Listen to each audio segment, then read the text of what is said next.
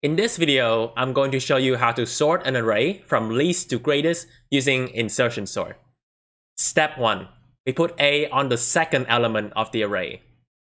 B is 3. Since 3 is less than 4, we simply swap them. And then we repeat this process. We put A on the next element of the array. B is 1. 1 is less than 4, so we swap them. 1 is less than 3, so we swap them. So you see, we're just bringing the smaller number in front. We repeat this process and A goes on to the next element. B is 2. 2 is smaller than 4, so we swap them. 2 is smaller than 3, so we swap them. 2 is not smaller than 1, so 2 stays where it is. And now the array is sorted.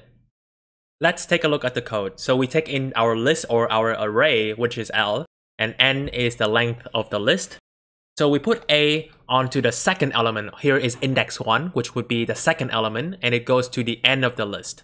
We put B wherever A is at, and then what happens in this part is that if the number that B is at is smaller than the number to the left, then we swap that number and the number to the left and we move B down.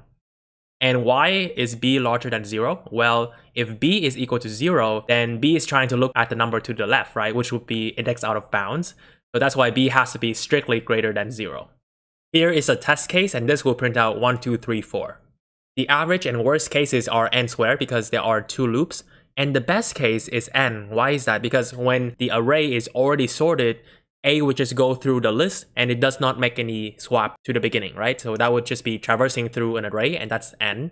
And insertion sort does not create any space, so it is O of one.